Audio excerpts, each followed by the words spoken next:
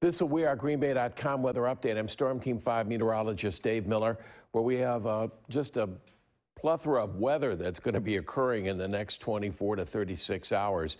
In fact, you can see in the northern sections, we do have the winter storm warning that kicks in Saturday evening. Will continue through the day on Sunday. In certain areas around there, we have winter weather advisories. Also goes into effect Saturday evening and will continue through the day on Sunday. Now, during the day on Sunday, we also have wind advisories in effect. And the reason for that is we're looking for wind gusts that could almost reach, in fact, in some cases exceed 50 miles per hour as the system continues to move on through. And if that's not enough, certain areas, of western Wisconsin, northern Iowa, southern Minnesota, and even some sections of northern portions of lower Michigan have blizzard warnings in effect, where not only they're looking at the strong winds, but some snow on the backside of this system.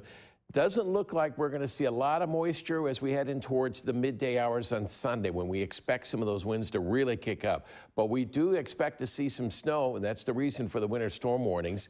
And might even see a little bit of rain and even some ice in there before that turns to snow for many of us as we head into early Sunday morning. There's the low. It continues to track on as it does so. It also continues to intensify. So the backside of that is going to drag down not only windy conditions, but we'll also look look for that sleet, freezing rain, turn over to snow early on Sunday morning. So the winds start to pick up. We could be looking at wind gusts anywhere between 45 to 50 miles per hour. Later in the day on Sunday, that could even exceed 50 miles per hour. So we could be looking at some real problems with uh, the very strong gusty winds, in addition to the slippery conditions out there from the sleet and freezing rain that we've had earlier in the day on Saturday, and then what we can expect Saturday night and Sunday.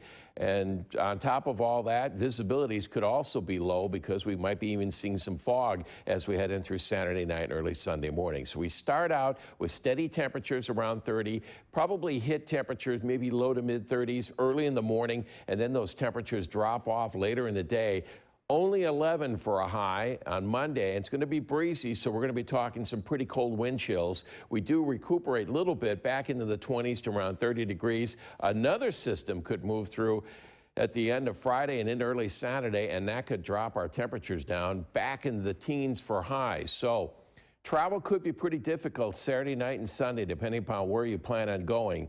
But we're expecting rain, sleet, snow, some areas of fog. Wouldn't even rule out a rumble of thunder as winds start to increase and temperatures holding steady around 30 or so. Then they'll probably increase maybe a couple of degrees and then start to drop off during the day.